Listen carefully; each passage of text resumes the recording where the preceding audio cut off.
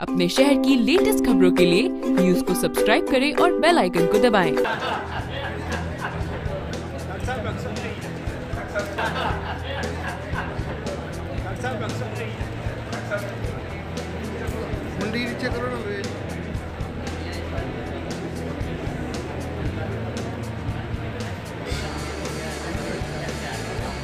मनोज भी आटो का